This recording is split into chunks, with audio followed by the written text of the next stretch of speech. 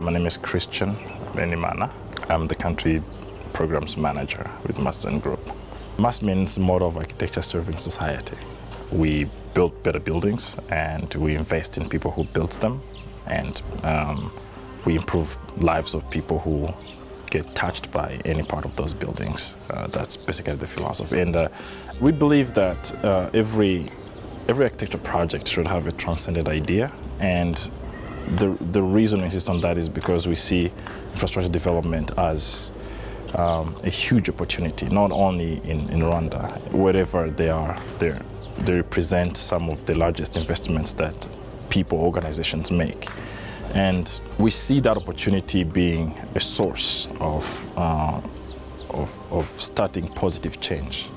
So the first uh, thing we do with any project is to determine together with our partners what, um, what mission is the project seeks to, to achieve.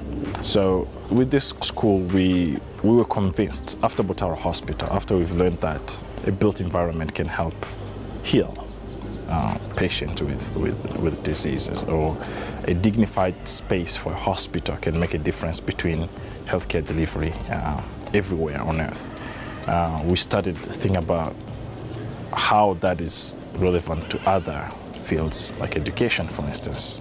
So one of the challenges in building schools in Rwanda is terrain, um, and erosion is a very big problem. So one, one big challenge was how we integrate the school into um, the slope, but then we still create playing areas uh, because we believe early education schools should have playgrounds.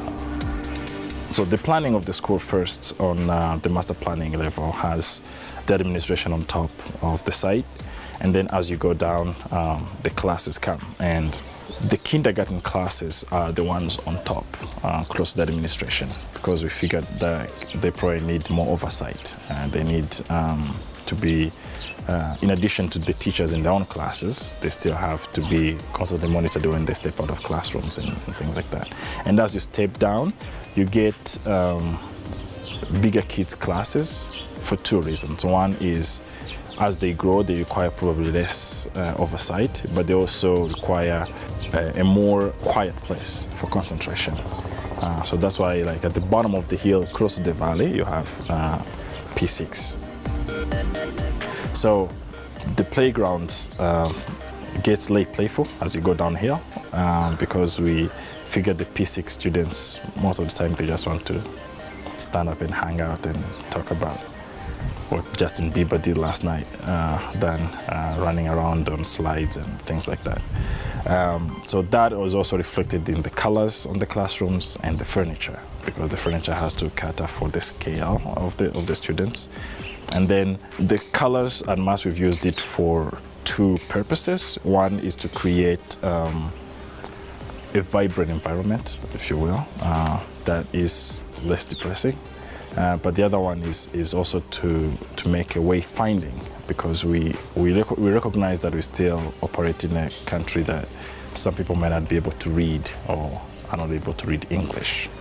Um, so uh, how do you give someone directions when they come to pick up their kids or they need to access uh, the school when they can't read and it's easier for them to follow a color. For Mubuga School, um, we did it four years after this school.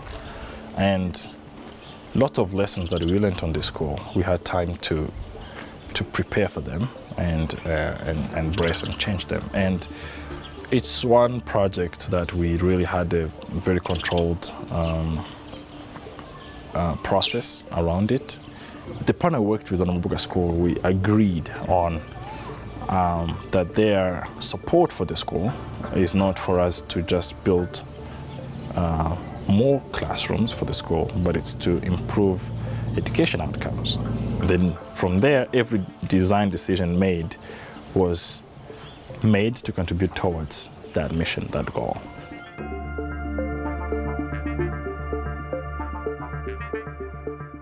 we recognize that universities still do their job in teaching people skills, uh, hard skills, and, and, and, knowledge they need. Um, things start falling apart when we start applying this knowledge. You find that industries are regulated by how much does it cost, and then we all get hung up on that figure. Uh, like, oh, it's, it's expensive because it's this amount of money.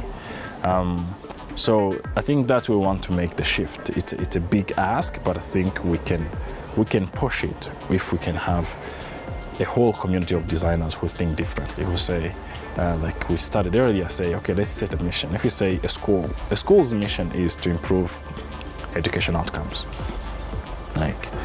Whatever we do, even as construction workers or architects or designers or engineers, like that mission should never leave our mind.